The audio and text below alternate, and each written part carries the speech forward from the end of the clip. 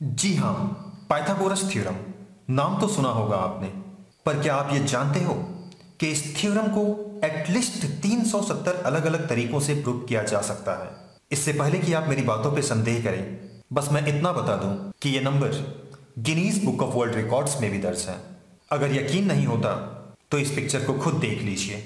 अभी जो अपने स्क्रीन पे आप देख रहे हो यह है Guinness book of world records 1991 edition. और यह है पेज नंबर 186 से ली गई एक पिक्चर पिक्चर धुंधली है, इसलिए मैं इसे रीराइट कर देता हूँ। वैसे आप चाहें तो इस बुक को ऑनलाइन आप परचेस कर सकते हो। ऑल तो ये बुक रेयर है, फिर भी अमेजन इंडिया में ये बुक आपको मिल जाएगा। इसकी कीमत मोर देन एट के है आज के दिन, जब मैं ये वीडियो रिकॉर्ड कर रहा हूँ। अब शायद आपको मेरी बातों पे यकीन हो गया होगा। तो चलिए, अब उस बुक के बारे में भी बता दूँ। जहाँ ये सारे डेरिवेशंस रिकॉर्डेड हैं। एक्चुअली जो बुक अभी आप अपने स्क्रीन पे देख रहे हो, इस बुक की सेकंड एडिशन 1940 में रिलीज़ हुई थी। और इस बुक को लिखने वाले थे ई एस लुमीस अब चाहे तो इसे भी परचेज कर सकते हैं। ऑल इस बुक की ओरिजिनल कॉपी का मिलना I think next to impossible है। बट फिर भी इस बुक की 1968 एडिशन आपको अमेजन इंडिया में मिल जाएगा। कीमत जानना चाहोगे? बेहतर होगा।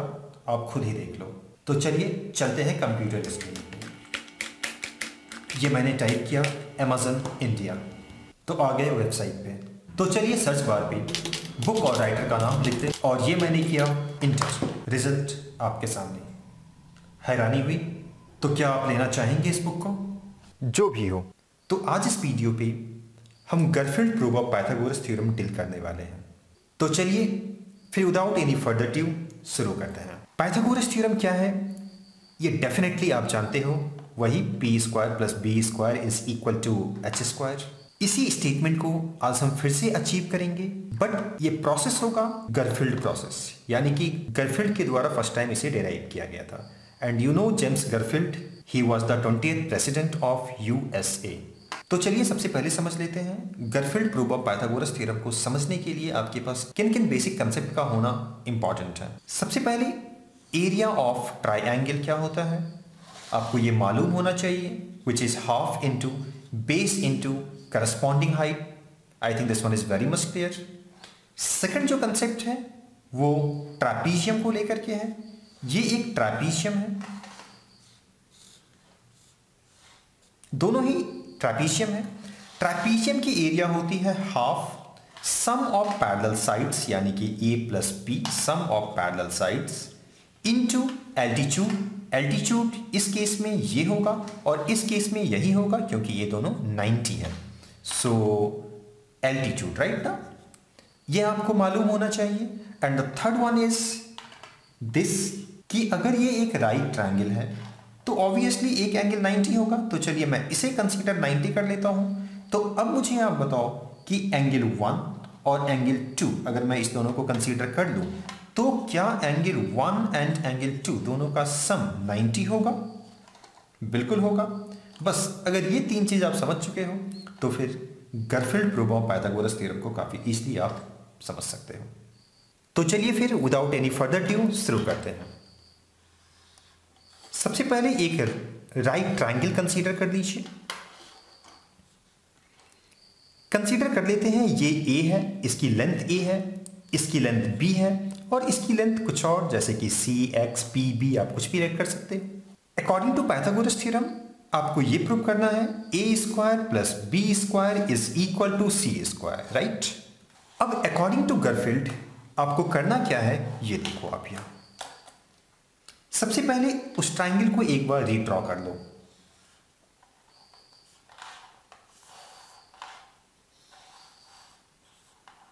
Right right? तो ये लेंथ है ए ये है बी और ये है सी अब इस ट्राइंगल को रोटेट करके यहाँ ले आओ। कुछ ऐसे। इस ट्राइंगल को सपोज़ कि ये वो ट्राइंगल है, इस ट्राइंगल को, जरा ध्यान दीजिएगा। इस ट्राइंगल को ऐसे रोटेट करके अच्छा देखना ये बी है राइट ये जो लंबी वाली है, ये बी है और ये ए है और ये 90 डिग्री है। तो इस ट्राइंगल को आप ऐसे रोटेट कर लो। रोटेट करके यहाँ ले आओ। तो चलिए इसे मैं बना लेता हूँ।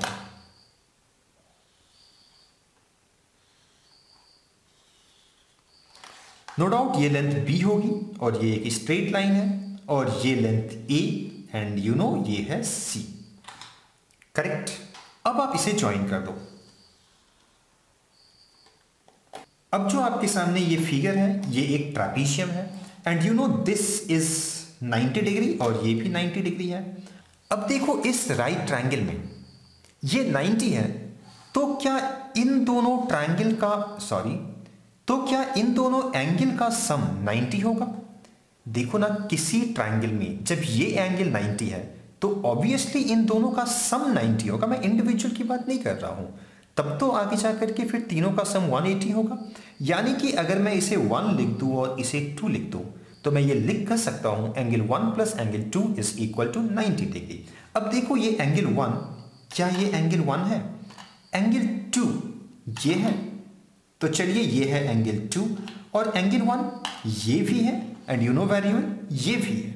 फ़िलहाल मैं इसे लिखता हूँ एंगल वन मुझे इसकी ज़रूरत नहीं है। अब देखो, इन दोनों एंगल्स का सम 90 है, और ये स्ट्रेट लाइन होने के नाते इन तीनों एंगल का सम 180 होना चाहिए। इसलिए ये जो एंगल है, चलिए मैं उसे ग्रीन से लिख देता हूँ। ये जो एंगल है, ये क्या 90 डिग्री होगा? एम आई राइट बिल्कुल ये 90 डिग्री होगा। बस समझिए आपका काम हो गया। सबसे पहले हम इस फिगर की एरिया निकालते हैं और इस फिगर को एक सिंगल ट्रैपीजियम कंसेप्ट करके इस फिगर की एरिया फाइंड करते हैं। And you know that area of that figure और you can say that trapezium is equal to half sum of parallel sides यानी कि A plus B am I right A plus B और altitude आप देख पा रहे होंगे altitude is A plus B again तो फिर से आप लिखोगे ए प्लस बी ये फॉर्मूला आपको क्लियर है? अब आप क्या कर सकते हो? A plus B A plus B you can write A square plus B square plus two A B whole divided by two and is equal to A square plus B square divided by two plus A B आपने two से divide किया ना इस दोनों को तो कुछ ऐसा स्टेटमेंट आपके पास होगा। चलिए, इसे मैं कंसीडर कर लेता हूँ equation one once again you need to find the area of this figure और और trapezium. बट इस बार इस ट्रापीजियम की एरिया हम फाइंड करेंगे। By adding the area of this triangle and this triangle and this triangle तो इन तीनों ट्राइंगल्स की एरिया को इंडिविजुअली फाइंड करके हम ऐड कर देंगे। तो ऑब्वियसली ये इस ट्रैपीजियम का ही एरिया होगा। तो चलिए मैं इसी चीज़ को फिर से लिखता हूँ। Area of that figure is equal to half into for this triangle okay half into base into height am I right half into base into height तो हाफ़ भी ये लिखना सही होगा। Plus area of this triangle क्या होगा बताओ आप? हाफ़ इंटू देखो ये 90 है, ध्यान दीजिएगा। Half into base into height यानी कि half C into C which is C square plus area of this triangle is equal to half into base into height तो अल्टीमेटली आप फिर से लिखोगे half into A B okay now half A B plus half A B is equal to one A B तो चलिए लिख देते हैं वन ए बी इस दोनों के बदले।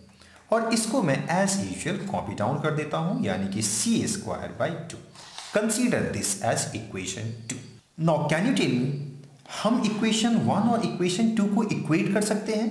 क्योंकि दोनों सेम ही फिगर का एरिया है तो हम डेफिनेटली इक्वेट कर सकते हैं. So on equating equation one and two देखो हमारे पास क्या है?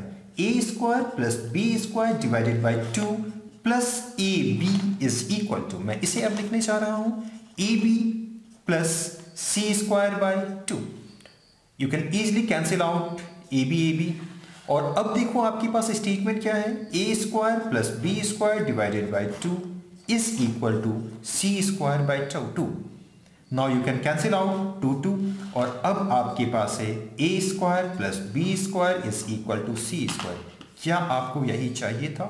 You can see here A square plus B square is equal to C square और फाइनली आपने इस स्टेटमेंट को अचीव किया and by the way it was the Garfield proof of Pythagoras theorem.